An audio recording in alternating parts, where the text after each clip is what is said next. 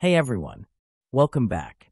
In today's video, I'm going to show you how to easily download the ISO file for Windows 11 24H2, whether you're looking to install Windows 11 on a new machine or you want to perform a clean installation.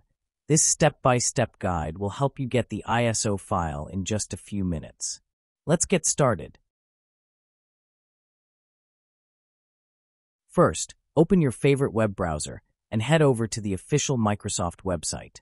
You can easily find the Windows Media Creation tool by searching Windows 11 ISO Download Microsoft. I'll leave a link in the description below to make things even easier.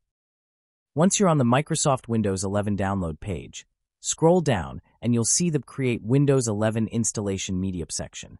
Also, you can seize Download Windows 11 Disk Image, ISO, for x64 devices. Select Windows Edition and click the Download Now button to start downloading the, the ISO file.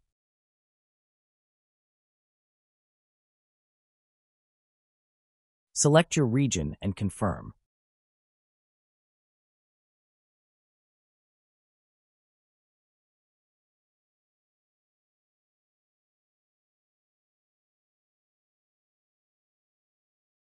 Select 64-bit download. Windows 11 24H2 will now begin downloading to your device. You can use this file to install Windows 11 24H2 on any laptop or PC. In my next video, I'll guide you through the installation process on both supported and unsupported devices. Be sure to subscribe to my channel and hit the notification bell so you don't miss out on future videos.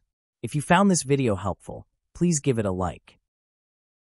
Thanks for watching.